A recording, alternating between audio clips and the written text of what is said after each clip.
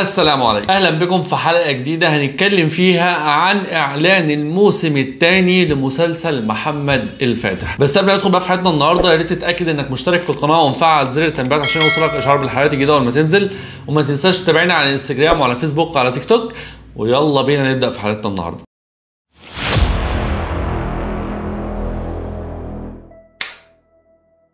من أقوى المسلسلات الموسم اللي فات كان هو مسلسل محمد الفاتح فحرفيا كانت كل حلقة فيه من ال 15 حلقة أقوى من التانية. لو جيت تسألني إيه أقوى حلقة حرفيا كلهم نفس الريتم ونفس القوة بالظبط تقريبا يعني حلقات متفاوتة. ولكنه كان من اجمل المسلسلات اللي نزلت في الموسم اللي فاتت ومن أحلى بصراحة المواسم المسلسلات التاريخية والحلقات التاريخية للمسلسلات التركية اللي اتذاعت لأن زي ما قلنا كانت حلقات متكاملة. أما التمهيد فيه بشكل غير طبيعي لحصار القسطنطينية وفتح القسطنطينية. وخلاص وانتهوا عن إن نية السلطان إن هو يفتح القسطنطينية بعد ما خلاص قضى على تقريبا كل المخاطر اللي بت يعني اللي هو بيواجهها مع مثلا القضاء على الحروفية وفي نفس الوقت خلاص يعني حجم الانكشارية وخلاهم وخرجهم من سيطرة جندرلي باشا ويعني وده حصل بمساعدة الشيخ آق شمس الدين بعد توبة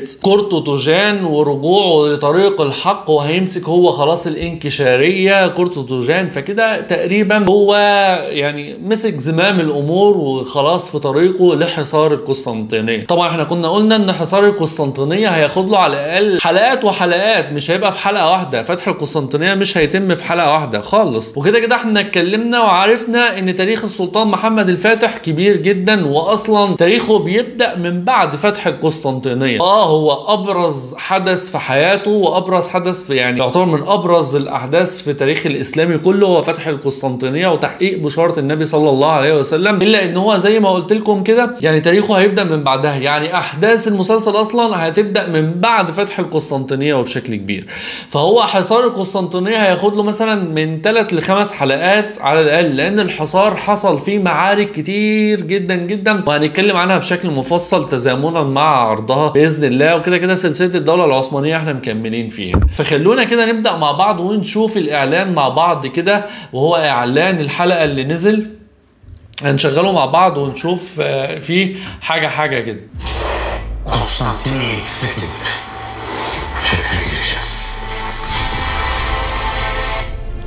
طبعا هو بادئ بكلام بفلاش باك يعني ب voice over كده إن هو كده كده هنفتح القسطنطينية وهندخل المدينة.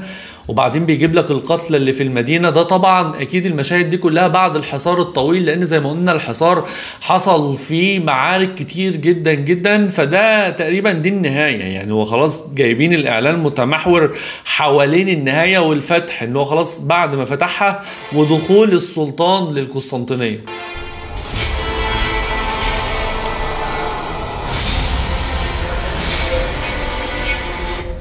آه فعلا هو جايبين المدينة من الداخل بعد الفتح.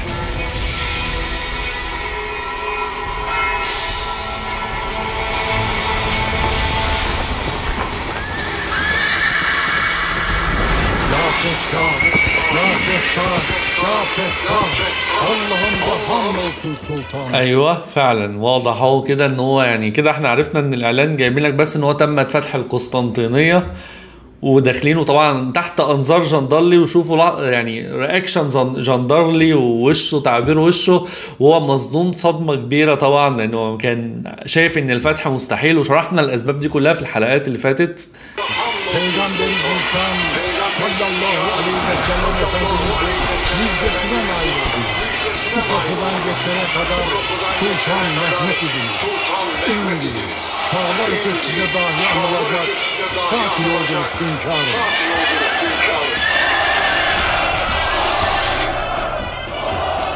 فعلا يعني هو مجرد دخوله القسطنطينية. الإعلان عبارة عن دخول القسطنطينية. بس حبيت بس نشوف إيه كده في تفاصيل معينة. طبعا جندرلي كده كده هيتعدم بعد الأحداث دي لسه. هيكشف خيانته ويعدمه. آه علي افرينوس موجود مع طبعا آه، سيد الأقنجي موجود مع آه، زانوس باشا وكل دول موجودين معانا تمام. إلا فعلا حسن ألوباطلي. طبعا إحنا عارفين إن حسن ألوباطلي كنا اتكلمنا عنه في قصته. عملت حلقة عنه كاملة يعني فخليني ما أحرقش وخلينا نشوف لو الحلقة لو أنت حابب يتحرق لك هتعرف إيه اللي هيحصل. بس حسن الوباطلي ليه قصة أو هو يعتبر من أهم عوامل الفتح يعني القصة كاملة. مش عارف مش عارف أحرق ولا لأ بصراحة بس إحنا عملنا حلقة عن حسن الوباطلي هتلاقيها طالعه لك في ال i فوق برضه هتلاقي اللينكات بتاعتها في ال description وعلى القناة. لو أنت حابب يتحرق لك إيه اللي حصل له. بس هو مظهر في الإعلان. يبقى إذا في الفعل كده إيه هيمشوا تبع التاريخ مظبوط. وزي اللي ما قلنا إن هو المسلسل ماشي تبع التاريخ مظبوط وبشكل كبير جدا جدا ودي هي الميزة الوحيدة في مسلسل أو من أهم المميزات وأقوى المميزات في مسلسل محمد الفاتح وهو إن هو ماشي على التاريخ بحذافيره ما بيهموش أي أشخاص ولا أي حاجة.